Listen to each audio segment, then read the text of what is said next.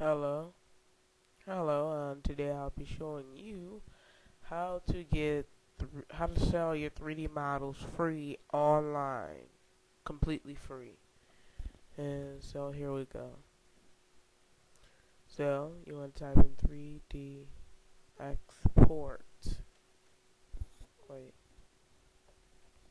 3D export.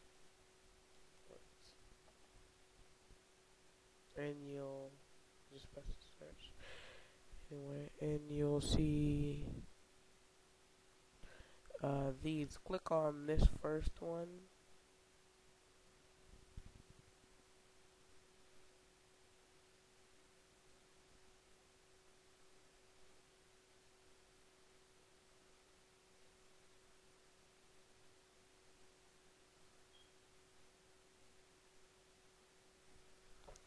Here we are. We're here now. Okay, and here you'll see uh, all kind of stuff. Here's how it basically works. You sell your models on here for like a reasonable price or whatever, and then people will. Everything starts to happen when I make my tutorial. Okay. That already closed. What the? Anyway. Alright, and you see, ah, come on, Camsy, you stop messing me up. Okay, it's lagging right now because of my camcorder.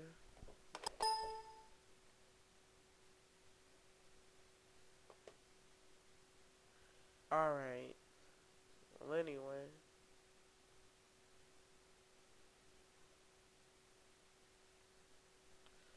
Okay, so um, all you have to do is sign up. It doesn't require address or anything. It's completely online, really. But you do, I think, have to have a bank account or whatever to use this. You do have to have a bank account or whatever, and a PayPal account. Alright, up. Going through dang slow. Okay. Username.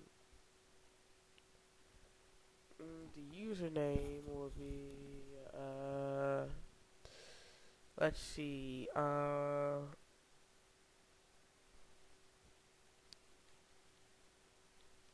I already have an account uh I just want to tell you that. You can uh, come here and look up the 3D Master 11 that should work. Uh tutorial guide password.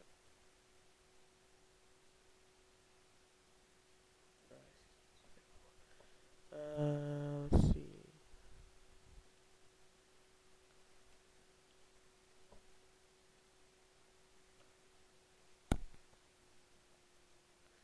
Email address. Um, just use this one.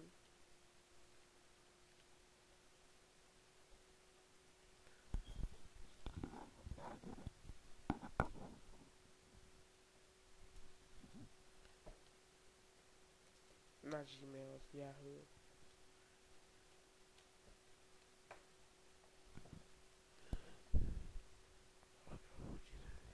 Okay, it's good. Next, United States. We gotta select United States. What that is.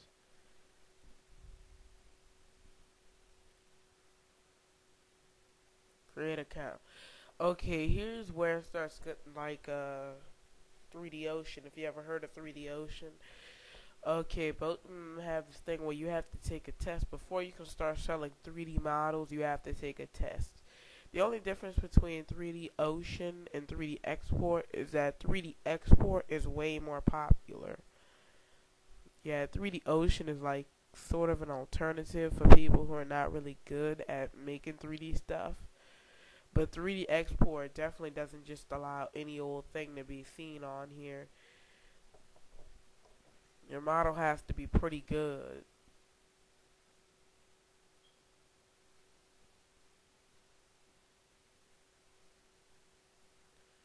As you can see, there we go. And I really don't want to take the test again, but I'll show you. like how selling works and crap. Sell 3D models. You can sell and buy awesome 3D models. Right now, the ones that are selling the most are the C4D and the 3DS models. I recommend you save your models in that format to be sold because those seem to be selling more than .objs and stuff. Those seem to really be selling in .max files as well. Upload 3D models. Yeah, now you have to take the quiz. Uh, up here, these are the things uh, over here. These are like the primary things that you have to study and learn. It should only take you a little while. Yeah. Just read this. Then all you gotta do is take the quiz. I don't want to do that. And then you have to put answers for certain questions and stuff. It's relatively easy, but I really don't feel like doing that again. It, it gave me a headache at first. So I was looking over here instead of up here by accident. And so I had to retake the quiz like nine times before I finally got it right. So, yeah. And the best strategy to go at when doing this is to look at what's selling the best. Don't just go trying to, like, don't just go like trying to I just turn up my volume a little bit. Don't just go and like trying to uh like just try to make anything and everything, uh, or else you just be wasting your time. I look in the best sales. Sometimes it freezes like that, and I have to restart it, but it should show. Box two, come on, come on. Uh, look in the best sales. This is a recommended strategy. Like if you really want your models to be sold, look in best sales, and you can see what's selling and what category is selling. Right now, what's selling is mostly cars and you know tech, like kind of kind of modern slash futuristic technology. You know, that's what's kind of selling right now. Yeah. And you can also look up other people. Let's see here. The Oh yeah, I've looked it up before. Watch there.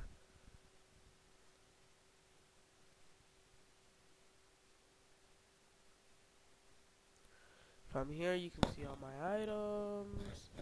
Uh, this one is one of my most proudest ones so far on that I've uh, put on here.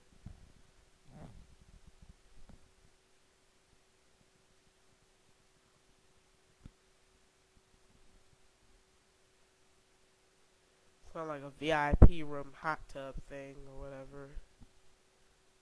I just decided to uh, put together.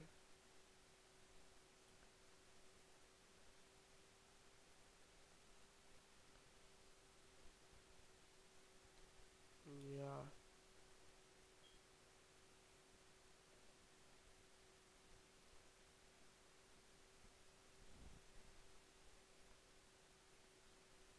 You can check this out uh, in your own free time. Please stop loading that.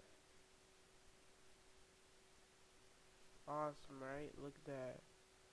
Awesome. This was made in Cinema 4D, and it's not one of my best models either. Yet it's still so cool. And so you can check out, uh, you can check out all my uh, other models Anyway, uh, you can check out all my other models and stuff and see if you like something, you can buy it.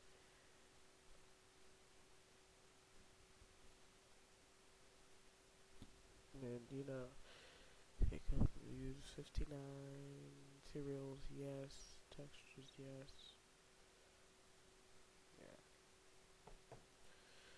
Yeah. Okay, another thing, one of the uh, requirements is you have to know the exact uh, vertices and polygons of your miss, uh, miss, wow, mesh. And as far as geometry goes, uh, polygonal, which means Polygonal means you basically sit there and you uh you kind of like put it all together instead of like going in Sculptris and making all these triangles and stuff. You actually took your time and put it together. Uh, yeah.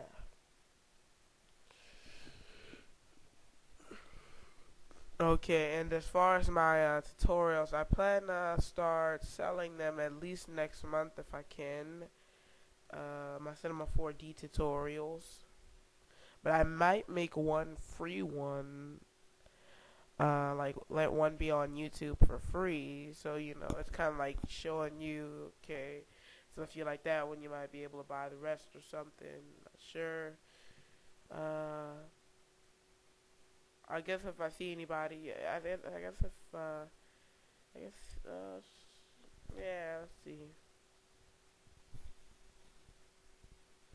I might release, uh, one or two of them for free.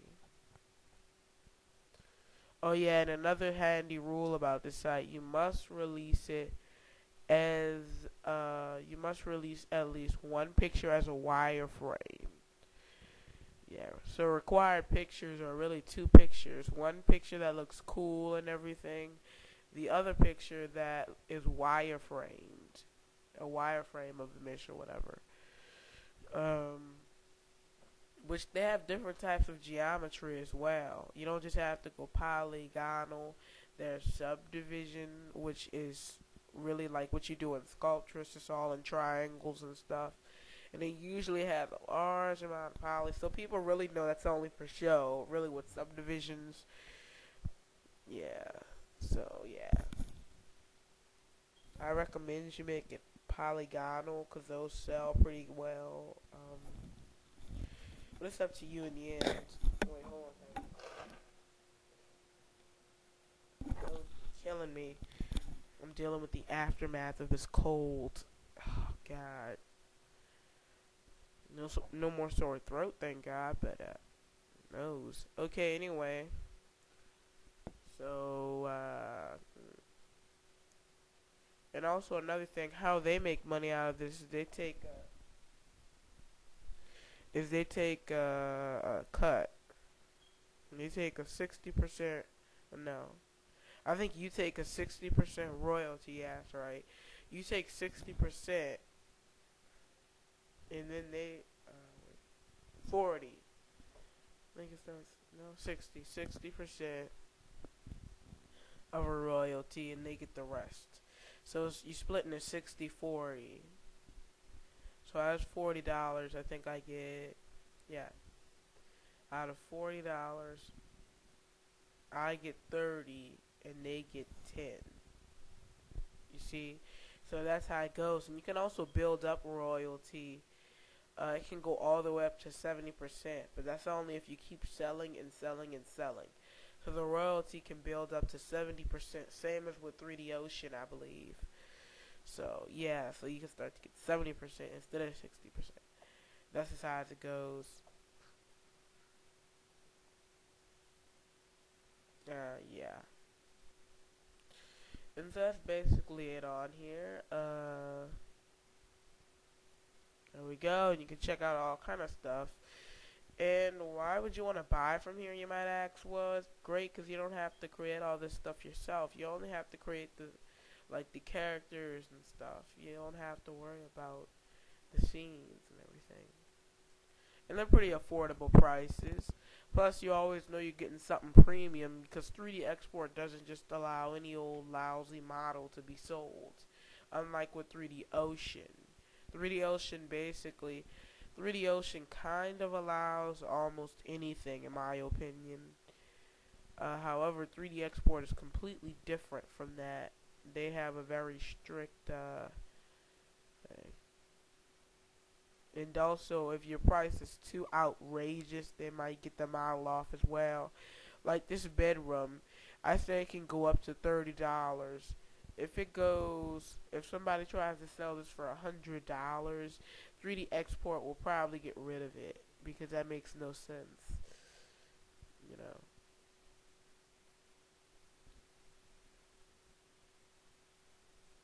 Yeah. So, uh, see you later. That's all. Oh wow, just about 15 minutes. See you later.